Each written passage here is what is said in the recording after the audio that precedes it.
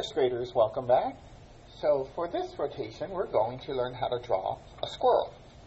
Now you can see there's two different styles you can draw. You can draw this first one where it's looking sideways. And to draw this one, you would draw kind of an oval shape, but this side's like a regular oval, but this side kind of comes together at a point. So it's pointy on one side. And then you'll do the ear. So just a curve, curve, and a little bit of hair up here. And then the body and the big tail.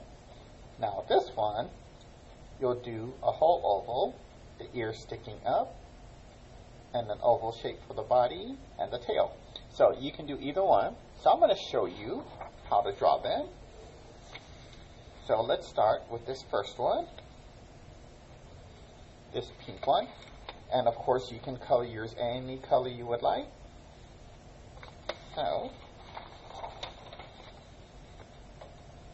on this side I'm going to draw my squirrel. Can you see? Yes. All right. So I'm going to draw basically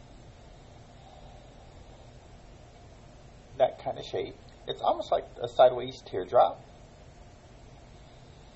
And then draw your eye any style you would like. It could be looking forward, it can be looking up, however you would like. I think I'm going to have mine looking forward. A tiny little nose. And a curve right here to make his little cheeks, a little mouth.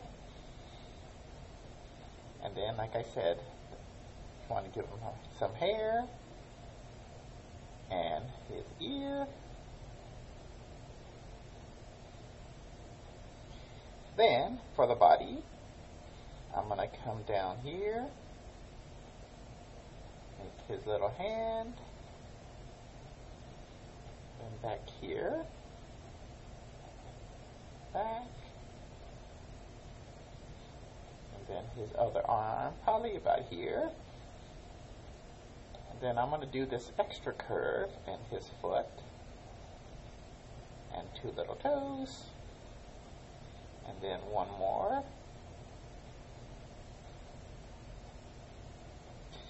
Then if you want, you can put something in its hand. That's completely up to you. And now for the tail.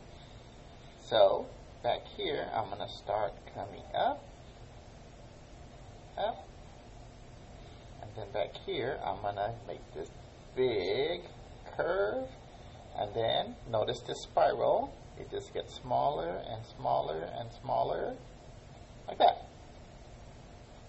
There we go.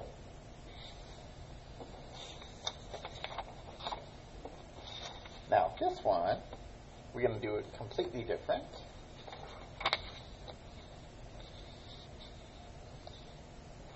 So this one, we're going to start with a sideways oval.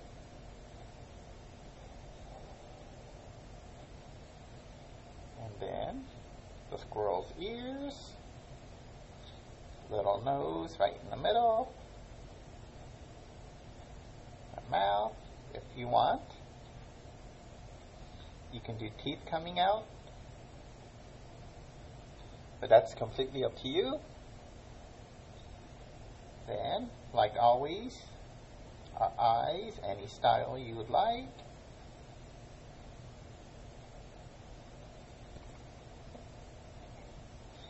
Then for the body, we're going to come down, come down, and then his little hands right here. And then the inside of the body, same thing on this side.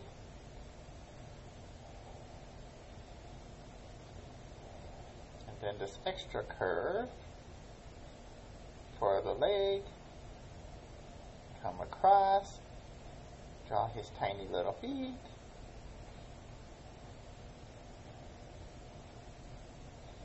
And now his big tail up here, so I just do this big curve, and then the top part of his tail and come in, kind of like that.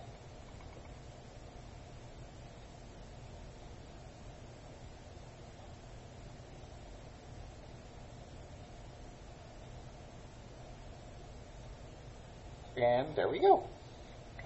So, whichever squirrel style you would like, go ahead and draw. So, once you're done drawing, color it in, any color you would like.